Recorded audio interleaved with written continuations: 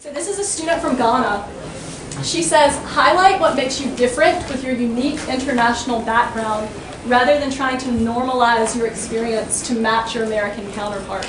I think this point is so huge because there are so many people throughout the globe who have experiences that a lot of Americans don't have.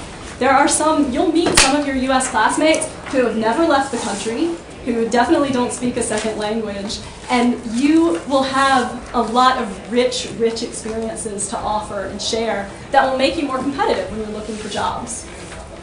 Um, a student from South Korea, she says, be very positive, very optimistic, don't be afraid to challenge yourself.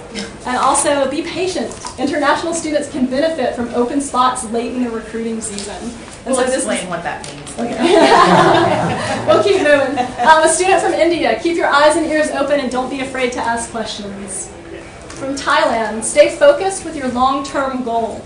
The first job after your MBA may not be the exact one that you always wished for, but it should lay a path toward your eventual career goal.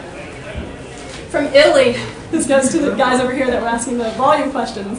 Volume counts, especially for international students. And so making sure that you're reaching out to as many people as you can. Um, and the last one, this is long, but I love it. This is from a student from the Dominican Republic. Believe in yourself and your preparation. If you are here, you are probably one of the best where you come from.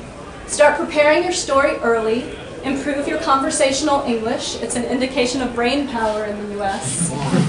and network like crazy. Americans don't need to be your best friends to refer you to a job. Don't be shy. Grayson, thank you very much.